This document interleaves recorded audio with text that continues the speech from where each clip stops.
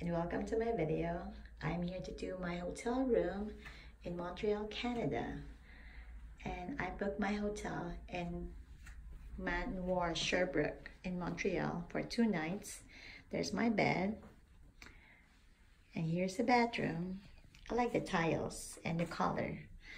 It's all white. And there's some free toiletries, shampoo, conditioner, soap. And this building is built in 1862. So there's no elevator. So if you're have luggages, you have to call them in advance so they can book you on the first floor. And here's where you can hang your stuff. There's the telephone.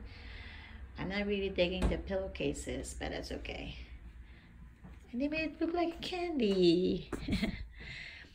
there's there's my Osprey um, carry-on, my personal bag. Here's a cabinet where there's are extra pillows, blankets. I think this is a plastic plant. Let me touch it. Oh yes, it's plastic.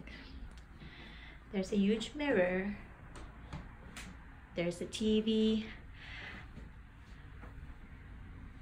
Table. I can really tell that it's really, it's really old building because of the curtains and the heater. This is the first time I've seen this kind of heater in hotel. And this is my view from my room. So that's what my hotel is called. Hotel, um, call it again? Manoir Sherbrooke. So it's been raining all day, so it's kind of gloomy, but it stopped today. Thank you. Why is that? There's a lady is picturing me. What? That's scary. Or is she picturing? She's taking a picture of the hotel. so I booked this for two nights and I paid $156 US dollars. And after two after two days I'll be on my way to Quebec and I'll do a hotel room tour in there too. So I hope you enjoyed my video.